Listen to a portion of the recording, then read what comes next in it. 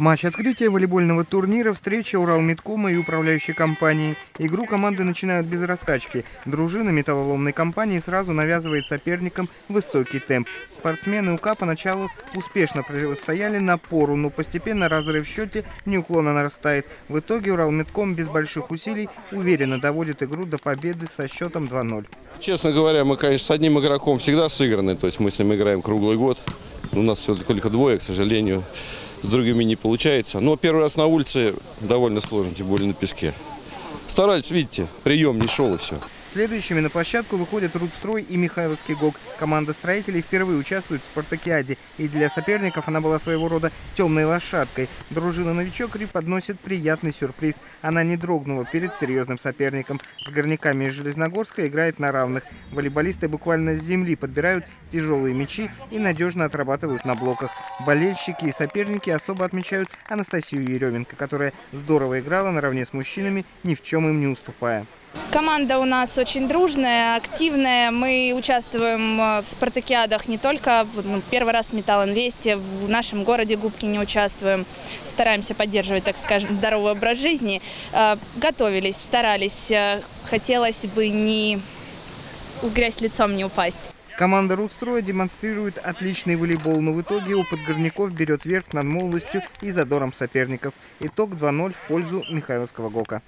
Игра УМК и управляющей компании третья в этот насыщенный волейбольными баталиями день. Для УК эта встреча уже не первая, а Оскольцы одни из лидеров. Результат – металлурги без лишних усилий начинают турнир с победы 2-0. Самой напряженной, азартной, с накалом эмоций вышла встреча Михайловского ГОКа и Урал Медкома. Сразу ясно, уступать никто не собирается. Мяч надолго зависает над сеткой. За каждое очко идет борьба, как за решающее. Ни одна из команд не отпускает соперника больше, чем на пару-тройку очков. Горняки побеждают, что называется, на морально-волевых. Только под конец второго периода, окончательно сломив сопротивление металлоломной дружины и одержав вторую победу за день. Все получилось, выиграли 2-0.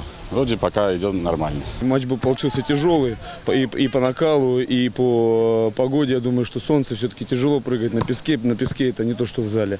Вот. Ну, немножко не хватило, не доиграли, не, не дожали. Во встречу МК и Рудстроя новички заставили поволноваться металлургов. На вторую игру за день Оскольцы выставили молодых спортсменов, которые со временем придут на смену ветеранам. Рудстрой воспользовался шансом и одно время вел в счете, пусть и с небольшим преимуществом, но так и не сумел воплотить его в окончательную победу. Собравшись, УМК все-таки одерживает верх над соперником второй раз за день. Мы играем, в принципе, в основном классический волейбол. Ну вот в таком варианте, в пляжном, тоже э, уже несколько вот так спартакиад, этот состав у нас, но немножко мы его омолодили, поэтому сейчас вот подключаем Завершила первый игровой день встреча Лебединского ГОКа и Уральской стали. На площадку лебединцы вышли в статусе действующих чемпионов корпоративной спартакиады Металлоинвеста по волейболу. На Новотрачане ничего не смогли противопоставить напору команды из Губкина. Горняки быстро и эффектно доводят игру до победы 2-0 в свою пользу.